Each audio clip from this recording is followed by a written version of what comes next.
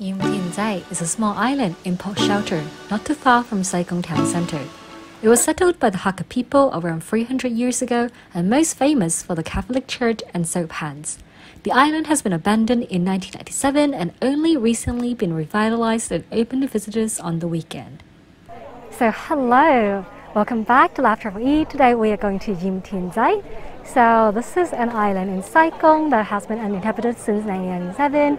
But recently they're doing a lot of revitalization project and currently it's the art festival. So we're here just to sightsee. Uh, weekday, there's still lots of people, but hopefully we can get to everywhere we want. It's best to take the official Yim Tin Tsai Salt Lake Preservation Center Kaido at the Sai Kung seafront. You can check their schedule online, but it's best to arrive early as it is quite popular. The costs is 60 Hong Kong dollars returns and includes the 20 Hong Kong dollar exhibition rooms admission. Remember to keep your tickets. You can also kayak there, then pay the 20 Hong Kong dollars if you want to see the exhibits. The ride is about 20 minutes and you are required to get a temperature check on arrival.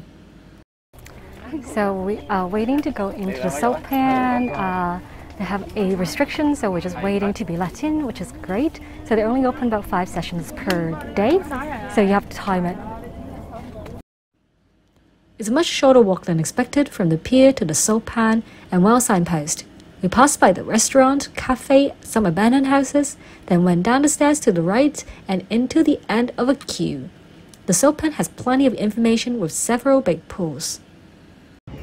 So the salt pan is not as big as I thought. But uh, they actually do make soaps here, but because of the um, climate in the summer, with the heavy rain, it hasn't been really successful. So there's a nice staff here and a nice staff there who explained the process to us. So I'm just going to quickly show you.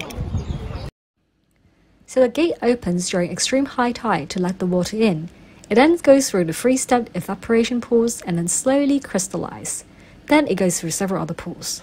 The staff members were super informative and I learned a lot. After our visit, we continue to the east side of the island.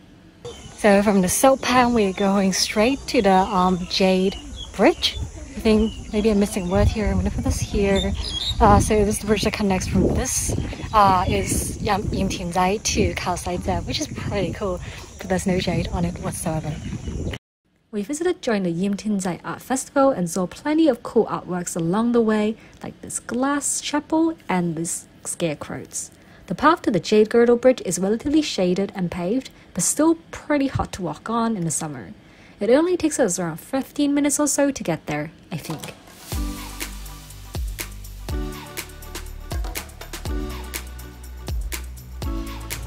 Okay, so the current name is Girdle J Bridge. So in Chinese, it's Yok Dai Q, but that's it's just concrete and currently a lot of construction material, which is kind of a shame. There's also an exhibit that I thought was floating rubbish of uh, window frames, which is pretty interesting. Once I read this, yeah, I need to develop an appreciation for modern art. The window frames are pretty cool, I just really thought it was rubbish. We then went back to the split and went right uphill to the twin pavilions. So we're now at the Twin Pavilion, which is just a very regular pavilion. Oh my god. So they have a metal panorama board that is kind of blinding me. So you get a view of Sharp Island, the mountain range around here, and back towards the church as well, and the other side. So it's pretty cool. Worth it to come here. So now we kind of wrapped up to the external portion. We're gonna go back towards the church. So let's see. The view is definitely worth a visit with the Sharp Island, the Kowloon Ridge towards Ma On Shan and Sai Kung, and then back towards the church, and the other side is Kau Sai Chau. Then we decided to take the big loop back and take the right turn, and aka the left turn, we facing the pavilion to the next pavilion. So this is the round pavilion. It's just a short walk from where Twin Pavilion is. Hi, Mama. So from here, we just walked across another well, and then we'll be back in the center. Mama Chan is a big fan of UV umbrellas, which was helpful, in case you can't tell. The trail on this part of the island is not that well signposted until we get back on flat ground and we make a quick stop right to see a well.